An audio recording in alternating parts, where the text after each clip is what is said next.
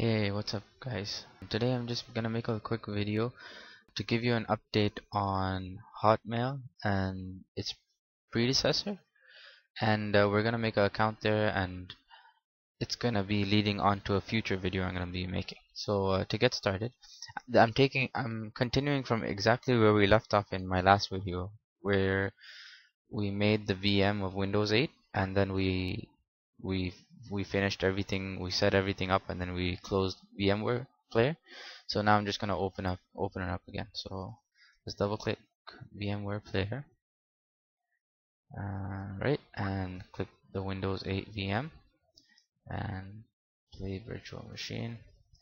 This is just just to show you guys how to start up a VM although this is not the main purpose of this uh, tutorial okay so now we're back now where we left off in our last video.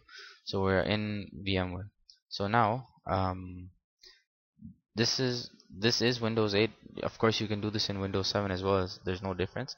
Uh, this is the initial setup. Nothing has been installed. Nothing has been done in this virtual machine at all. This is the Win Windows 8 virtual machine. You can see I can personalize it. I can change. These are different um, backgrounds and stuff that Windows 8 comes with uh, if you guys don't know already this is the full retail version. This isn't some developer preview or release preview. This is the retail version of Windows 8 okay so uh, what I want to do is um, let's open up Windows Internet Explorer. I, I, right now I don't have any other browser so that's the only thing I have Internet Explorer. And uh, I want to go to uh, Hotmail just to show you guys. You see Hotmail has let me full screen this sorry let me just change the screen resolution so you guys can see it full screen. Right the one of the interesting thing in things in Windows 8 now is that it gives you this full array of screen sizes whereas Windows 7 only had a small selection. There's a much bigger selection here. Click apply and we'll keep the changes. Okay. Alright and let's go back to Internet Explorer you can tell how it looks kind of different. You see this uh, metro theme uh, how they've built in all the windows and their designs. Okay so this is Hotmail. Um, if you guys don't know Hotmail has been Microsoft no longer they don't want to move forward as much with Hotmail. They move they've in, introduced a new interface. It's called Outlook. So this the main purpose is I'm gonna be setting up an Outlook account right now so outlook.com let's go there. And you'll see this is this is the new um, this new email interface of Microsoft. You can see here a preview of the modern email from Microsoft. So uh, let's go ahead. We'll sign up. We'll make a new account because I already have an account but I'm gonna make one for Tech Void right now. So uh, name call it Tech last name void. Void first I just fill in something. Alright. What is the email we're gonna use? It's gonna be tech void alright. Password will be Oops, it's not long enough. Okay. Um,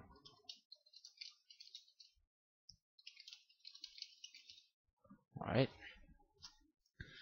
And how can we help you reset it?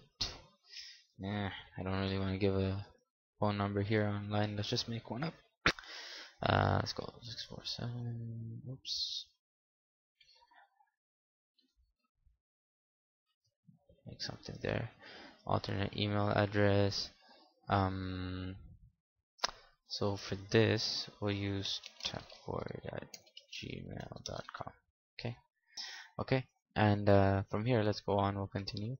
The region Canada postal code uh,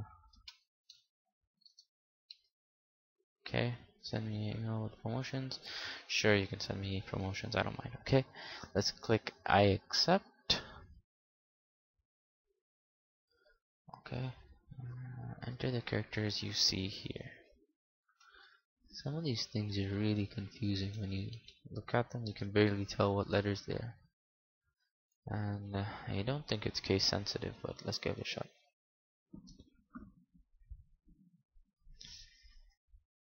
Alright it's loading up. And um, we're pretty much done now. Alright so uh, this is the new Microsoft Outlook email uh, client? I mean it's not the email client. That's that's a software itself but this is the actual email um, manager I guess you can call that Microsoft uses now. It's no longer Hotmail. Hotmail is still there but Microsoft wants people to move on with uh, Outlook itself.